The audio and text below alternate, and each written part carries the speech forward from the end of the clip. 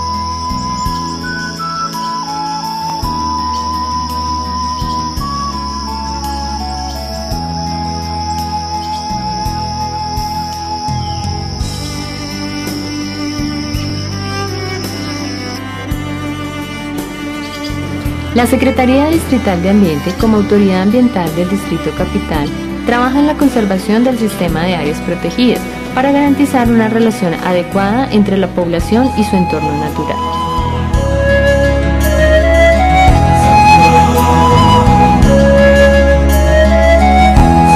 Las aulas ambientales son una estrategia de educación ambiental de la Secretaría Distrital de Ambiente para la formación de actores sociales en torno a las dinámicas ambientales de la ciudad que fomenta la relación de actividades en espacios abiertos, permitiendo a los visitantes tener un contacto directo con la naturaleza.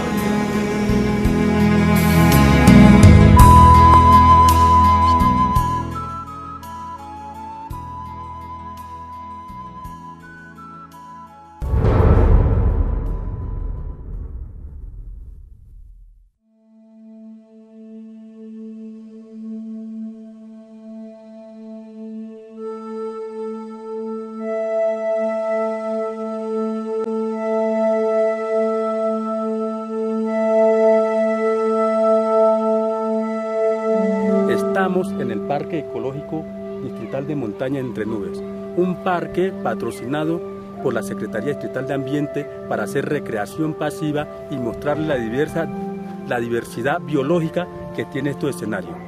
Este es un patrimonio cultural, este es netamente público y estamos para atender a las personas.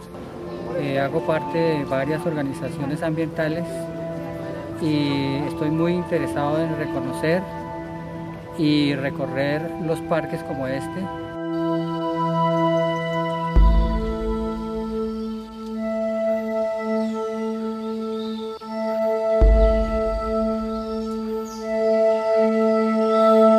Me encanta la dimensión y el cuidado que se ha tenido con este parque. Es muy hermoso y me voy satisfecho de, ver el trabajo que están haciendo y el llamado es a que miremos que nuestros espacios no se pavimenten, sino que se fomenten este tipo de parques, que es lo más bello que tenemos y que tenemos que darle a conocer a nuestros hijos.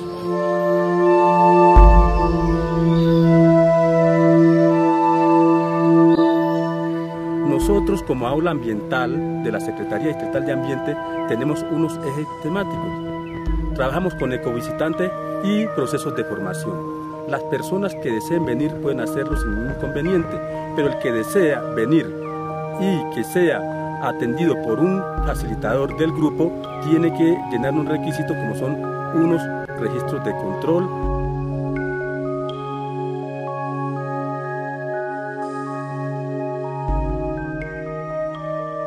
Este parque cumple unas normas muy específicas. Primero, es muy bonito porque tiene 626 hectáreas.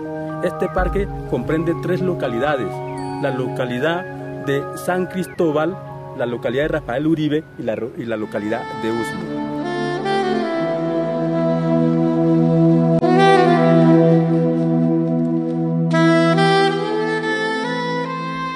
monumento cultural únicamente para deleite de las personas. Nosotros en nuestro trabajo tenemos una actividad. Este parque la mayoría de las personas que vienen lo vienen a visitar por su diversidad biológica. nosotros aquí tenemos unos recorridos establecidos que son Ecoamigos. ¿En qué consiste el recorrido de Ecoamigos? El recorrido de Ecoamigos se hace en dos horas y consiste que uno lo lleva al Parque de la Tierra para hablarle acerca de la Tierra, por qué la Pachamama, como decían los indios muisca, es importante para nosotros, qué características nosotros tenemos que darle. En el Parque la Tierra tenemos lombricultura, que le enseñamos a los niños y visitantes por qué importante el reciclaje, por qué tenemos que hacer compostaje, porque los indios tenían una leyenda y era que uno tiene que darle, aunque sea el 30% a la tierra lo que ellos nos dan.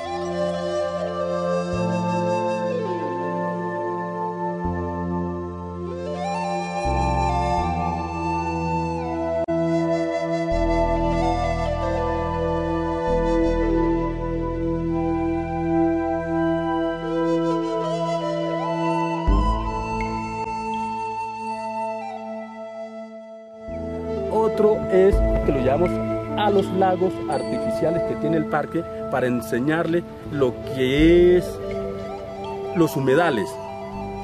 ¿Qué es un humedal? ¿Por qué es importante los humedales? En esta época de lluvia nosotros nos estamos dando cuenta que nuestra ciudad se nos está inundando.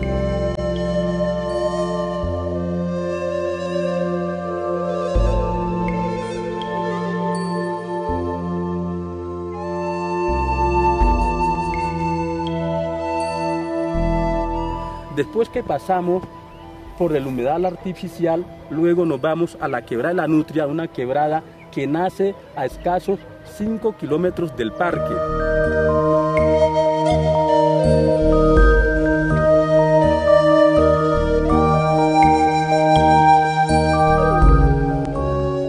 Nos subimos a la cuchilla del gavilán. La cuchilla del gavilán es la parte más alta que tiene el cerro, que estamos más o menos hablando de 3.100, 3.000 metros sobre el nivel del mar. Ahí vemos las diferentes variedades y las diferentes problemáticas que tiene la ciudad.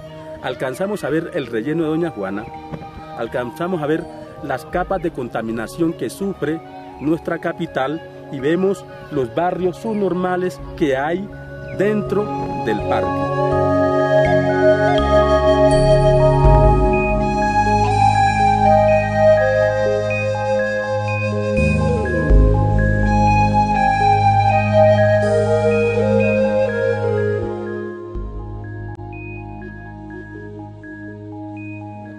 Mucho la naturaleza que se puede observar. Hay animalitos, se puede, hay trocha, eh, no es sí es, no es plano plano, sino que hay subida, hay bajada, eh, se puede observar, eh, hay frutas, moras silvestres, hay uvas, mm, hay árboles, hay, hay eucalipto, varios tipos de flores. Es muy genial estar acá. En estos momentos sacamos todo, gastamos el agua, dentro de 20 años no vamos a tener o la vamos a tener muy cara. El problema de nosotros últimamente es o tomamos conciencia o no tomamos nada. Y hay que darle a entender a los niños que lo que es los residuos sólidos tenemos que saber clasificar. Y el agua hay que cuidarla porque el agua dentro de poco va a ser más cara que el oro.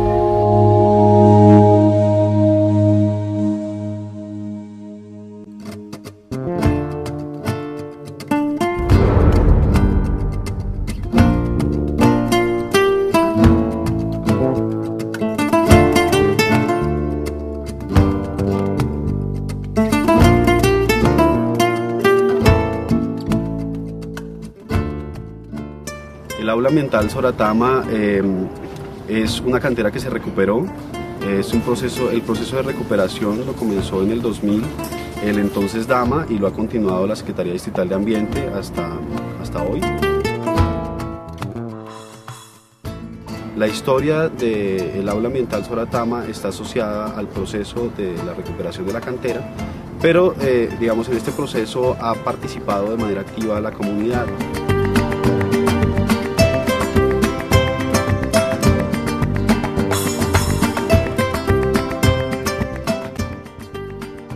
la historia de la princesa infiel. Se dice que la princesa Soratama también fue la princesa infiel y que es bastante bonita y que todo esto es, contado en el recorrido interpretativo.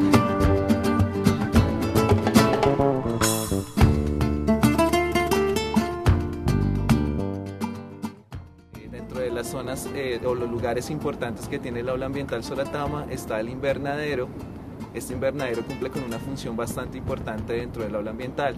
Se está propagando vegetación nativa para la restauración ecológica de áreas degradadas, una o por retamo espinoso o otra por eh, zonas que han sido degradadas por la explotación minera. Otro sitio bastante importante es la zona que tiene la Universidad Javeriana dentro del aula, que es una experimentación que se está haciendo con biosólidos de la planta de tratamientos de aguas residuales del salitre, del apetar, que fueron traídos para acá a ver si con los biosólidos se puede recuperar zonas degradadas por la explotación minera. Entonces le van haciendo un estudio a estas zonas eh, cada seis meses a ver qué comportamiento tienen dentro del aula ambiental. Los diseños que tiene el huerto de aromáticas eh, en, el, en, el, aula fue hecho por parte de la comunidad y también con ayuda de la comunidad muisca. El diseño tiene el, la rueda de la medicina muisca. El ingreso al huerto es una serpiente que tiene que ver con el ir y el venir de, la, de, la, de los diferentes caminos de la vida. Y también se encuentra una luna en cuarto creciente. Al lado de la luna hay un ojito que tiene un gaque y eh, tiene que ver como con un amanecer que llega y con el ojo que todo lo observa. Entonces esto es bastante importante porque fue eh, generación de sentido de pertenencia por el territorio por parte de la comunidad y el rescate de la cosmovisión muisca, de, de ese sentir ancestral que tiene el Cerro de Soratama. Para nosotros las aulas ambientales que dirige la Secretaría de Ciudad de Ambiente son espacios vitales que están enmarcados también dentro de lo que es la política pública de educación ambiental.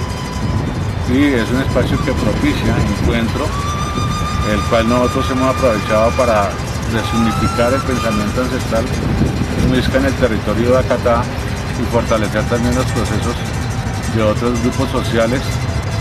Y eh, estamos desarrollando en este momento lo que es el proceso de formación ambiental para salvaguardarlo también los humedales desde cada una de las aulas, la montaña, los cerros y en especial poder generar una dinámica de ecología humana para que los seres de la ciudad y las personas de la ciudad se comprometan un poco más con el medio ambiente, con su entorno y con todo lo que tiene que ver con el desarrollo vital de la ciudad lugar a dudas, eh, las aulas ambientales tienen un gran componente de la cosmovisión muisca en el sentido de mostrar cuál es esa versión o cuál es ese conocimiento ancestral que se ha tenido del ambiente en el país y obviamente en Bogotá, pero además nos permite vernos reflejados desde nuestros eh, aborígenes, desde nuestros ancestros cómo cuidaban el ambiente y de qué nos dejaron a nosotros para que nosotros, hecha esa reflexión, gracias al apoyo de nuestros eh, compañeros muscas, podamos dejar también para las futuras generaciones algo de eso que nos heredaron, pero obviamente mejorado. Esa es la pretensión de que eh, las comunidades muiscas se vinculen a los procesos de educación ambiental, heredar algo de su conocimiento tradicional ancestral y replicarlo hacia el futuro, a las futuras generaciones.